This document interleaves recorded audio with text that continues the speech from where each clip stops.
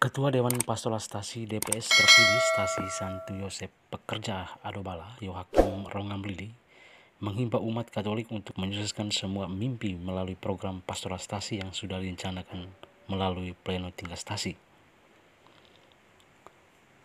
Dalam sambutannya pada momentum serah terima jabatan dari Ketua DPS periode 2017-2021 di Kapela Santo Yosep Pekerja Adobala yang juga bertepatan dengan pleno stasi pada Minggu 13 Maret 2022, Ketua DPS terpilih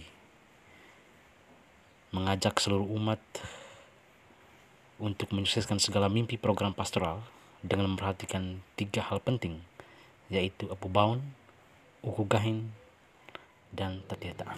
Dan segala mimpi ini bisa berjalan dengan baik. Ada tiga hal penting yang perlu kita perhatikan. Yang pertama ukugai. Yang pertama itu apu bau. Yang kedua ukugahi. Lalu yang ketiga teteta. Ini tiga hal penting yang perlu ditepe. Sehingga kalau dalam segala kegiatan yang kita rencanakan ini kalau kita berjalan dengan baik landasannya adalah awal dari rencana yang baik.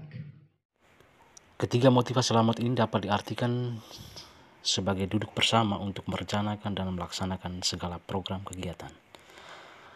Serah terima jabatan dalam tubuh Dewan Pastoral Stasi ini bertepatan dengan pleno tingkat stasi yaitu dari Ketua DPS periode 2017-2021 Yosep Kopong Ado ke DPS terpilih Yohakim Rongamblili yang disaksikan Pastor Paroki Santo Wirevin Telamunga, RD Willy Olalanan dan pengurus DPP serta umat Katolik Stasi Santo Yosep Adobala yang hadir mengikuti rapat pleno DPS. Selain memperhatikan tiga hal penting motivasi lamar tersebut, Joakim Rongamblili juga menegaskan bahwa semua program yang sudah rencanakan ini akan berjalan secara efektif. Landasannya adalah awal dari rencana yang baik.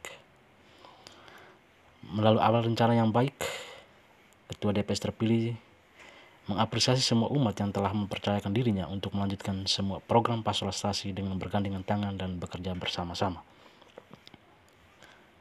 Selain itu, Hakim juga memohon doa dari seluruh umat agar tugas dan amanah mulia yang diberikan ini dapat berjalan dengan baik ke depannya.